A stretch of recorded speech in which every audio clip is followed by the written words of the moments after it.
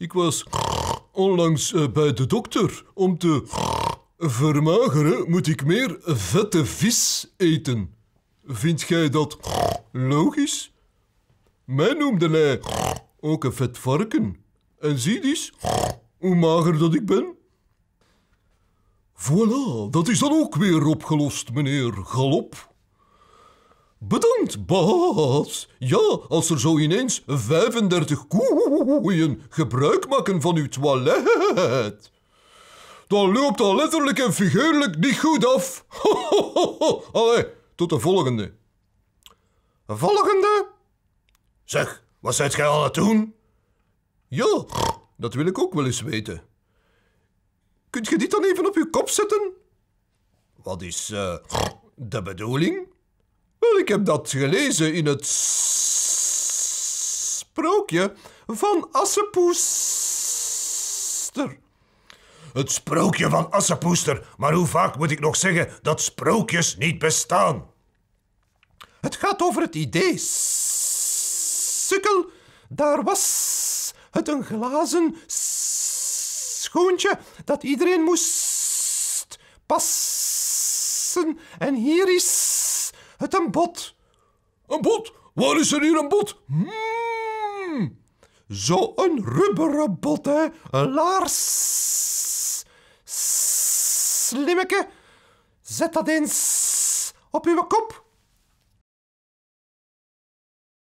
Dat past ook niet. Maar als je geen bot hebt om te eten, misschien heb je dan koekoekjes van die vogels? Nee, koekoekjes van die koekjes voor koeien. Nee, dat heb ik niet. Ik kreeg tot voor kort ook geen koeien over de vloer. Kijk eens, Polle, ik heb een eh, oplossing voor uw probleem met uw toilet. Ja, maar dat was toch opgelost? Ja, ja, maar de volgende keer dat er zo'n bus koeien stopt, is het weer van dat. Oei. En wat kan ik daar dan aan doen? Hier, kleef deze sticker op de deur van het toilet. Jij meent dat of wat? Ik ben dat.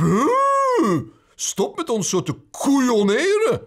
Dieren moeten elkaar hier toch kunnen ontmoeten zonder al dat geruzie en zeker zonder discriminatie. Hebt gij daar geen grote behoefte aan?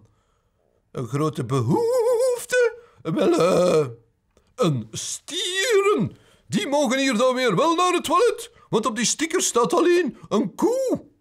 Ja, maar Polle, ik zal nog rap een eh, sticker maken met een stier op. En wij mogen hier wel iets drinken en eten, maar niet naar het toilet. Als hier beren waren geweest, dan hadden we nu dat probleem hier niet. Hoe bedoelt u? Beren die gedragen zich als echte heren. Weet je wat, madame? Je kunt de pot op. Ah, het mag dus wel dan. Artiesten, veganisten, toeristen en nog een activiste.